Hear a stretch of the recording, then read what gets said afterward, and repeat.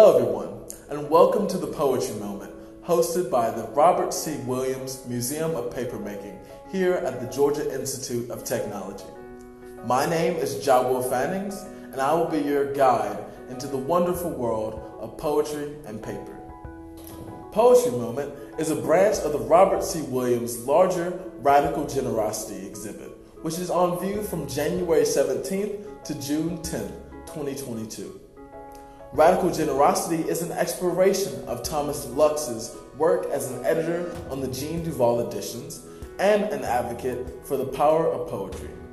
For more information, please visit our website at paper.gatech.edu. In this episode, we'll be reading selected works from Michael Meyerhofer's chapbook, Real Courage. Michael Meyerhofer is a novelist, a poet, and a professor at DeVry University in California. In addition, we'll be reading selected works from Terry L. Kennedy's chapbook, Until the Clouds Shatter the Light That Plates Our Lives. Terry L. Kennedy is the director of the MFA writing program at the University of North Carolina, Greensboro, the editor of the Greensboro Review, and the editor of Story South.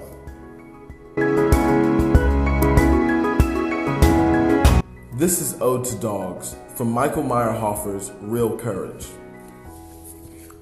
I'm tired of hearing about dogs used as metaphors for the uncivilized. Imagine a world in which humans possess at least 20 times as many olfactory receptors, able to distinguish the tang of cancer rising musk like from the bed sheets next to a smoldering ashtray, able to detect that one drop of blood in every five quarts of water. To know what you did last night, no matter how many times you soap scrub the evidence. It does not take savagery, but more love than we can muster to lick the hand you've sniffed, to love despite the perfume of sins we wear like a halo.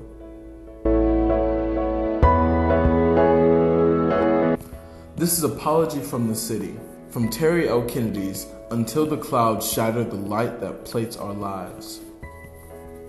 I can imagine how one could feel trapped here, scrape and squeal of the train as it slows but never stops, or the doleful whimper of a dog chained to the yard.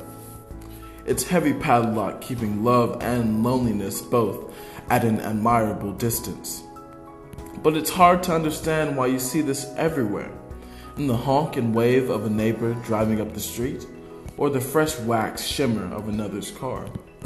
The morning sun filters the hedges, and I cannot help but wonder why we feel compelled to share with anyone.